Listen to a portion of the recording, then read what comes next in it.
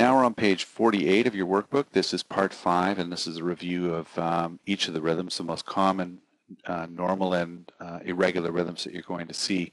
And um, we actually start here on page 49. And this is a normal sinus rhythm, and this is a good place to start uh, because a normal sinus rhythm would give us a good uh, basis of comparison.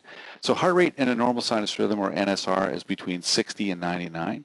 I say 99 because any heart rate that's 100 or greater is considered a tachycardia. Any heart rate less than 60 is considered a bradycardia. So that's the normal heart rate range there. And we can uh, map this out to determine uh, the heart rate by finding a QRS complex that falls close to a dark line. If we count down, the heart rate is 300, 150, 100, 75, 60, 63, 66, uh, roughly uh, 66 beats per minute. That's an approximation there.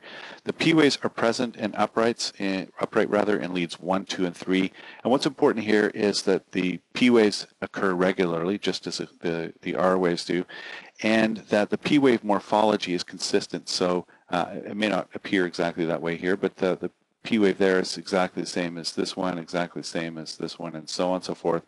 Um, that's important uh, because the P wave morphology can sometimes be different. Sometimes you'll see P waves that are uh, notched like this. Sometimes you'll see P waves that are bi biphasic like this. But as long as the P wave morphology is consistent throughout and the rhythm is regular, we're dealing with a sinus rhythm. The PR interval in this case is uh, point, uh, zero, sorry, 0.2 second or less, so uh, no more than five small squares. And if we look at, um, for example, what I try to do is find a P wave that starts on a dark line, like this one here. We'll just enlarge it a little bit. And so you can see that um, uh, the P wave starts there, and the end of the PR interval, or where the QRS begins, is right about there at about 4 millimeters or 0.16 second. Uh, but the main thing is the PR interval could be as long as 0.20 seconds, so that's as wide or as long as five small squares. So it's within uh, that range.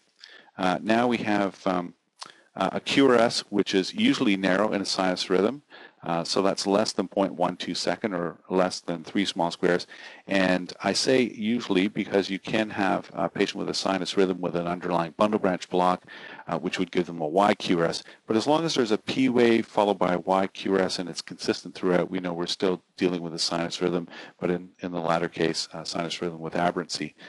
The ratio in a sinus rhythm is one P wave to one QRS. And finally, the rhythm is regular in a sinus rhythm.